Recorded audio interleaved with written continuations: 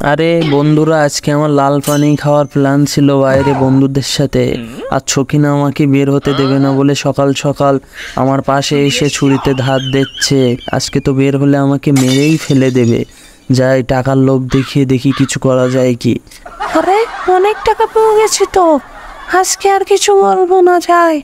অনেক টাকা হয়ে গেছে যাই আমি। আরে ছকিনা কোথায় গেল? আরে ছকিনা তো চলে গেছে। আরে বন্ধুরা আপনারাও যদি আমার বউকে ভয় পেয়ে থাকেন তাহলে চ্যানেলটি সাবস্ক্রাইব করে